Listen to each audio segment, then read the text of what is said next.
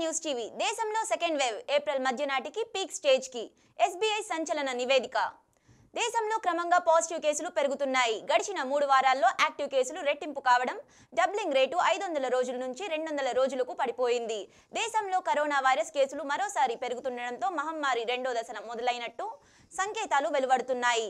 ఫిబ్రవరి పదిహేను నుంచి పాజిటివ్ కేసులు క్రమంగా పెరుగుదల మహమ్మారి విరుచుకుపడుతుందనే దానికి సంకేతమని స్టేట్ బ్యాంక్ ఆఫ్ ఇండియా అధ్యయనం స్పష్టం చేసింది. ఈ సెకండ్ వేవ్ వంద రోజులకు ఉండే అవకాశం ఉందని ఏప్రిల్ పదిహేను నాటికి కేసులు గరిష్ట స్థాయికి చేరుతాయని అంచనా వేసింది.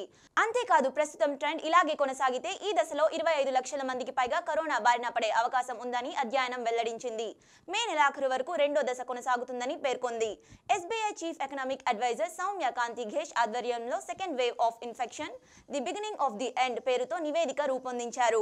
ఆంక్షలు లాక్డౌన్ వల్ల ఉపయోగం ఉండదని పెద్ద ఎత్తున వ్యాక్సినేషన్ ద్వారా కరోనాను నిలవరించవచ్చని నివేదిక సూచించింది. కోవిడ్ రెండో దశ విజృంభణ మొదటి దశ కంటే తీవ్రత ఎక్కువగా ఉన్నట్టు ప్రపంచవ్యాప్తంగా పలు దేశ అనుభవాలు చెబుతున్నప్పటికీ ప్రస్తుతం టీకా రావడం వల్ల కొంత వ్యత్యాసం ఉంటుంది. తద్వారా భారత పరిస్థితిని చక్కగా నిర్వహించగలుగుతుందని వ్యాఖ్యానించింది. వారం రోజులుగా బిజినెస్ యాక్టివిటీ ఇండెక్స్ పతన దిశలో ఉందని కొన్ని రాష్ట్రాల్లో విధించిన ఆంక్షలు లాక్డౌన్ల ప్రభావం వచ్చే నెలలో స్పష్టంగా కనిపిస్తుందని నివేదిక వివరించింది. అయితే లాక్డౌన్లను పొడిగించుకుంటూ పోయినా కొద్ది కేసుల సంఖ్య పెరుగుతూ పోయింది అని ఆయన పేర్కొన్నారు. పంతొమ్మిది వందల పద్దెనిమిది నుంచి పంతొమ్మిదిలో సంభవించిన స్పానిష్ ఫ్లూ సమయంలో కూడా ఆయా దేశాల్లో లాక్డౌన్లు విధించి స్కూళ్ళు ప్రార్థనా మందిరాలు థియేటర్లను మూసివేశారు. కానీ లాక్డౌన్ ఆంక్షలను ఎత్తివేశాక పరిస్థితి మళ్ళీ మొదటికి వచ్చింది అని విశ్లేషించారు.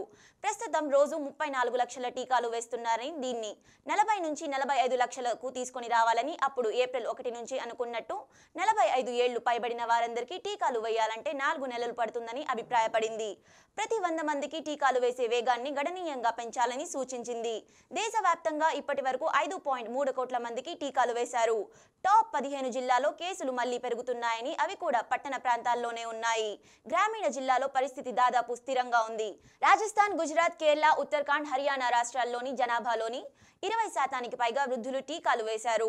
అరవై ఏళ్ళకు పైబడిన వృద్ధులు ఎక్కువగా ఉన్న పంజాబ్ తమిళనాడు ఆంధ్రప్రదేశ్ మహారాష్ట్ర బెంగాల్ వంటి రాష్ట్రాలు తక్కువ శాతం మందికే టీకాలు ఇచ్చారు. వచ్చాయని ఆ రాష్ట్రాల్లో టీకాల వేగాన్ని పెంచాలని పేర్కొంది. బుధవారం నాటికి దేశంలో రెండు పాయింట్ ముప్పై రెండు కోట్ల మందికి వృద్ధులకు టీకా అందజేశారు. ఆరోగ్య సమస్యలతో బాధపడే నలభై ఐదు నుంచి అరవై ఏళ్ళలోపు వ్యక్తులు దాదాపు యాభై ఒకటి పాయింట్ ముప్పై ఒకటి లక్షల మందికి ఇప్పటి వరకు వ్యాక్సిన్ ఇచ్చారు. దేశీయ అవసరాలకు వినియోగిస్తే విదేశాలకు కూడా భారత్ టీకాలు సరఫరా చేస్తోంది. ఇప్పటి వరకు ఎనభై దేశాలకు ఆరు పాయింట్ నాలుగు కోట్ల డోసులను అందజేసింది.